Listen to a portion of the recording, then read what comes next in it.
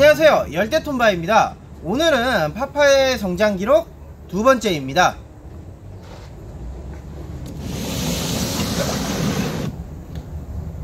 저번에 옮겨 심어 주었던 파파야들이 이만큼 성장을 해 주었는데 한 그릇씩 심었던 파파야는 건강하게 자라 주었지만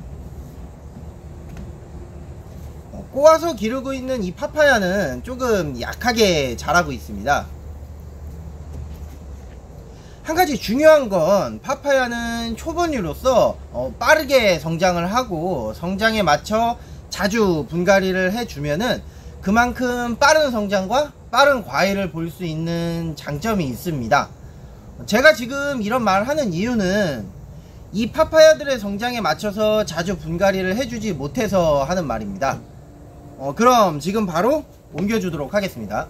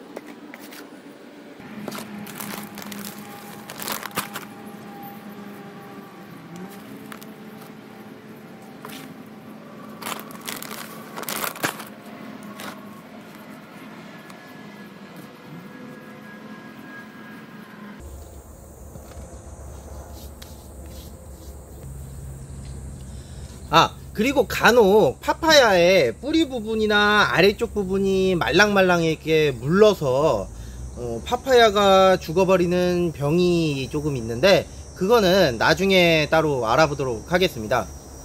오늘은 파파야의 성장 기록 두 번째였습니다. 그럼 다음 영상으로 찾아뵙겠습니다. 열대톤바였습니다